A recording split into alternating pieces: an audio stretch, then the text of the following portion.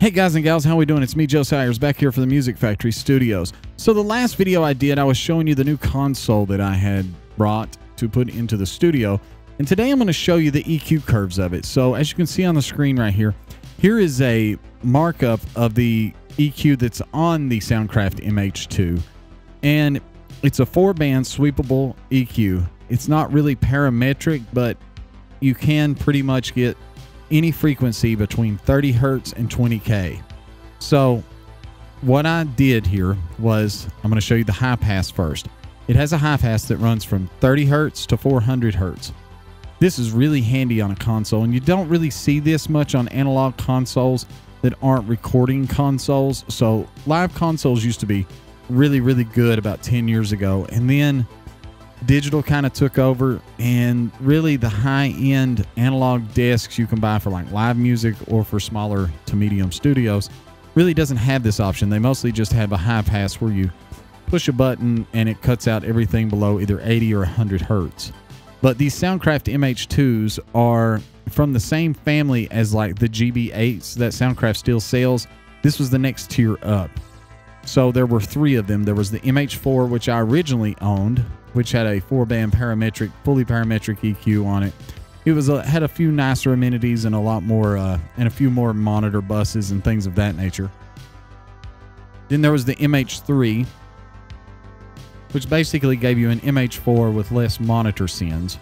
And then there was this MH2. And I had the MH4 and the MH2. I sold the MH4 to another sound company that was doing way more work than we were and I kept the MH2. So when my Midas Legend finally died, I, I was seriously thinking about getting another console, another uh, Midas console, probably a Heritage or another Legend. I really like those desks. And then I remembered I had this in storage. So I went ahead and just thought, why not use it? It sounds good. It this desk was not a cheap desk. This desk was like thirty thousand dollars when we picked it up. So it's it's a great console. I'm going to show you the different curves here. This is the uh, the low shelf and the Q of the mid bands is set at 1.5 on the Q, and as you can see here, it's the same basically boost as cut. I'm using two different channels here in this analyzer.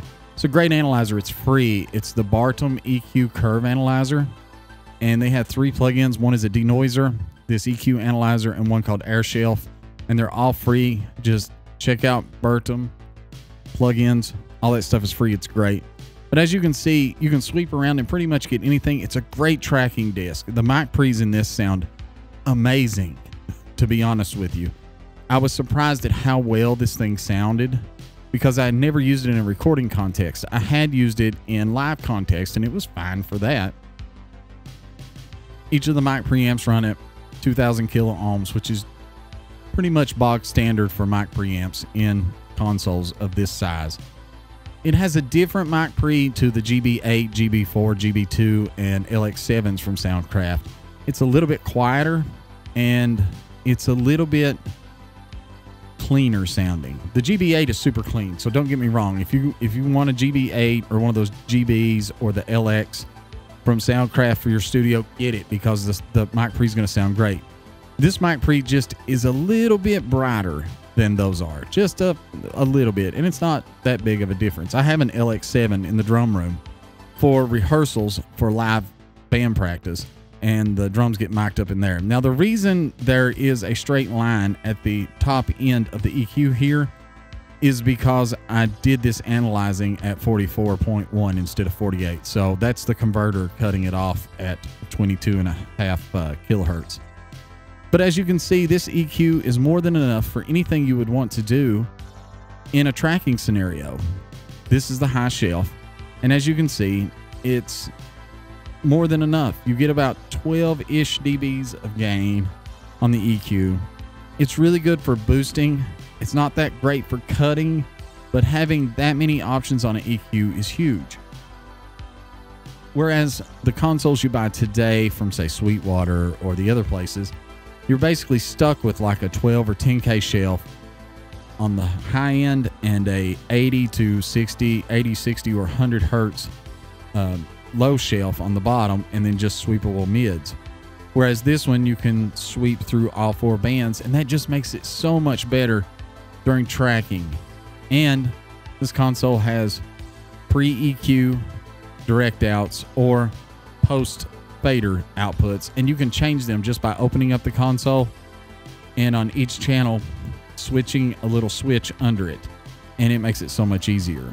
But I can't say enough good things about this console. I'm going to do some more videos on it. I know I've been away from YouTube for a while, but I've been really busy. I had to play catch up on a lot of work since the console was down. I had I was a, basically a week and a half behind, so that put my YouTube channel nearly a month and a half behind, and I apologize for anyone who follows this channel. And uh, I hope you enjoy these next few videos coming up about the Soundcraft MH2 and how a console can help your workflow to become better and just to get things into perspective about how great having that tactile feedback of using a console really is. And you can see how complex the EQ shapes are here. They can become very, very complex or very, very simple. This console is super low noise. So I didn't denoise anything. This is straight from the console into the analyzer. You can see how low the noise is in this console, which is great. I don't hear any noise coming from the mono inputs or the master bus. The uh, the monitor sends, if you push them really, really hard, you might hear some a little bit of noise, but it's lower than ambient noise, so it's not really an issue. Um, I have to say that this console was meant to compete with like the Midas Legend or the Heritage 1000s or like the Veronas and Sienas of the Midas uh, line. And I have to say, these consoles from Soundcraft are going super cheap. So once I got this one out, I was like, man, I wonder how much an MH4 MH3 would be. And I was shocked when I went to Reverb to find that some of these consoles were a thousand, two thousand dollars, whereas a new GB8 is going to cost you like five grand. and this is far superior to that console.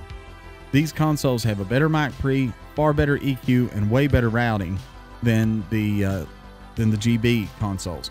They also have EQs on the the aux sends and the returns, and you know a few amenities that even the best live mixing analog discs don't really have. But as you can see, that was the EQ. And uh, next up, we'll talk about how inputs and outputs work and how to feed them into a recording setup. All right, guys and gals, hope you enjoyed this. If you did, thumbs up, subscribe, hit the bell for notifications. And since you're already here on YouTube, check out one of these other videos on your screen right now. All right, guys and gals, have a great day, y'all.